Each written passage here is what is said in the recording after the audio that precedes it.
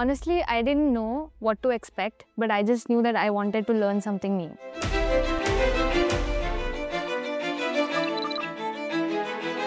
It was the first day when uh, it was the ice breaking challenge. I had to go and speak uh, in front of everyone.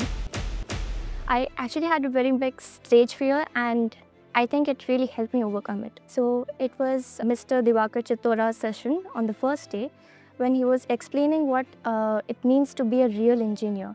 So that actually changed my whole view which I was uh, which I had before joining.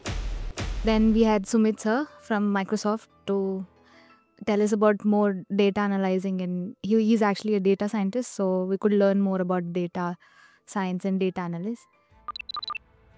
Day two, uh, we had a great time with Parth sir. He taught us about Gen AI, how we can use generative AI. He definitely showed us the best paths, the most efficient way to build a website and when the final product was ready, I was really happy with it and it gave me the confidence that yes, I want to do this for the next four years and after that the 30 years until retirement.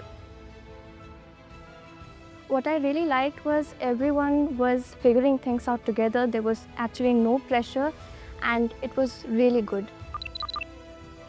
We had the drone workshop.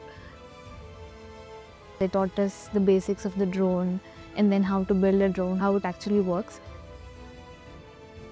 So for example, they'll be using programming, they'll be using electronics knowledge, they'll be using some structural knowledge for building this type of structures, and they'll be using some aerodynamics for uh, designing the propeller suited for that.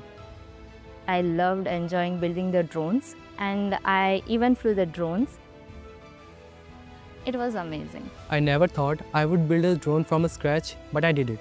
Suddenly you are not a student anymore, you are a creator.